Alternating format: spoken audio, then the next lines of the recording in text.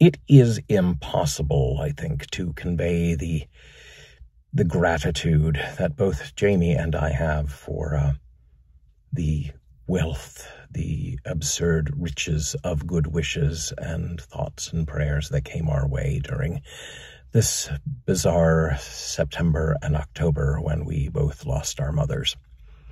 Um, the love that washed over us really helped us get through. Um, and not that we wouldn't have not gotten through without it, but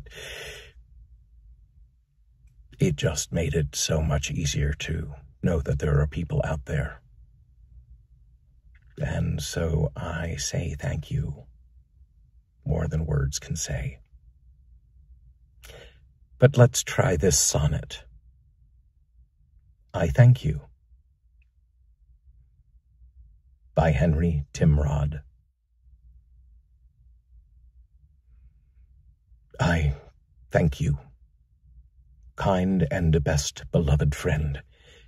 With the same thanks one murmurs to a sister when, for some gentle favour he hath kissed her, less for the gifts than for the love you send, less for the flowers than what the flowers convey.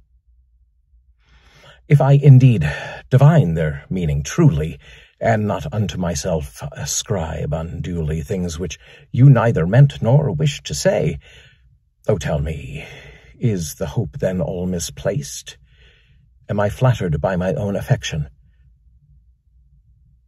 But in your beauteous gift, methought I traced something above a short-lived predilection, and which for that I know no dearer name I designate as love.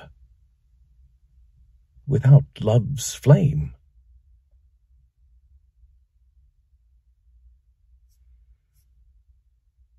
Sonnet I Thank You by Henry Timrod